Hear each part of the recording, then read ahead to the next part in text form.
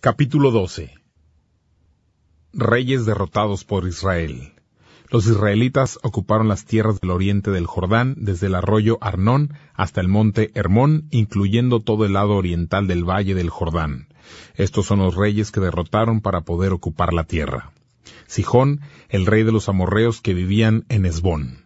Él reinaba desde Aroer, que está en las riberas del arroyo Arnón, hasta el río Jacob. Su territorio comenzaba en el arroyo, que era el límite entre su territorio y el de los amonitas. Sijón reinaba sobre la mitad de Galat.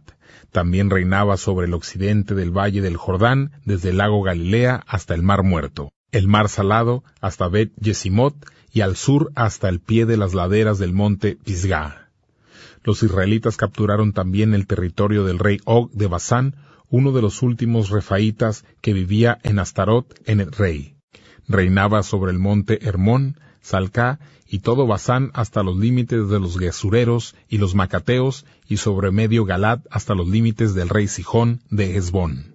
Moisés, siervo del Señor, derrotó a estos reyes y este mismo Moisés, siervo del Señor, le dio ese territorio como posesión a los Rubenitas, a los Gaditas y a la media tribu de Manasés. Estos son los reyes que Josué y los israelitas derrotaron al lado occidental del río Jordán, desde Baal Gad en el valle del Líbano hasta el monte Jalac, que se eleva hacia el Seir. Josué repartió ese territorio entre las tribus de Israel de acuerdo a lo asignado a cada una.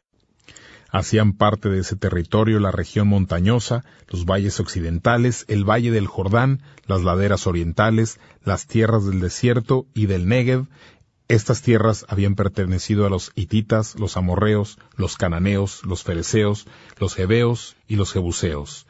Los reyes derrotados fueron el rey de Jericó, el rey de Jaí, ciudad que quedaba cerca de Betel, el rey de Jerusalén, el rey de Hebrón, el rey de Jarmut, el rey de Laquis, el rey de Eglón, el rey de Geser, el rey de Debir, el rey de Geder, el rey de Jormá, el rey de Arat, el rey de Libná, el rey de Adulam, el rey de Maquedá, el rey de Betel, el rey de Tapuaj, el rey de Jefer, el rey de Afec, el rey de Sarón, el rey de Madón, el rey de Hazor, el rey de Simrón Merón, el rey de Aksaf, el rey de Tanac, el rey de Megiddo, el rey de Sedes, el rey de Jocneán en el Carmelo, el rey de Dor en Afot Dor, el rey de Goyim en Gilgal, y el rey de Tirsá.